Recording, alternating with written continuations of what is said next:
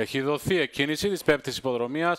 Έχει καλή εκκίνηση ο Τζαν Γκούτε, η Σελεστίνα. Έχει καλή εκκίνηση η Zambia Queen που θέλει να οδηγήσει την ιπποδρομία. Έρχεται όμως και η Mademoiselle Coco να τοποθετηθεί δίπλα της.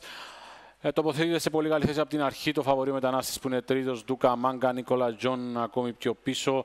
Πολύ πιο πίσω πολύ άλογα. Τζις εξωτερικά θα βελτιώσει τώρα την ε, θέση του με τρία άλογα σχεδόν στο ίδιο ύψος. Zambia Queen, Mademoiselle Coco και μετανάστη. Ακολουθεί εσωτερικά ο Ντούκα Μάγκα. Στο κέντρο του στίβου Νίκολα Τζον πιο πίσω η Σελεστίνα. Εξωτερικά ο Τζις. Πάμε για 700.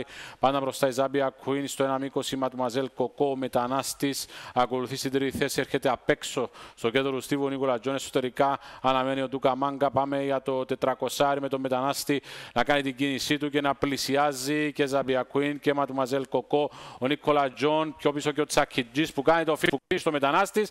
Παίρνει ένα πλεονέκτημα. Όμως ο Νίκολα Τζον φαίνεται να έχει δυνάμεις και να τον καταδιώκει τώρα. Είναι κοντά στο ένα μήκος. Μετανάστης και Νίκολα Τζον πιο πίσω. Ο Τζις να καλύψει. Μετανάστης στην πρωτοπορία. Νίκολα Τζον προσπαθεί. Τζις στην εξωτερική. Νίκολα Τζον και μετανάστη. Μετανάστη έχει το πλεονέκτημα. Μετανάστης ανοίγει τώρα τη διαφορά για να κερδίσει. Νίκολα Τζον, Τζις και Zambia Queen.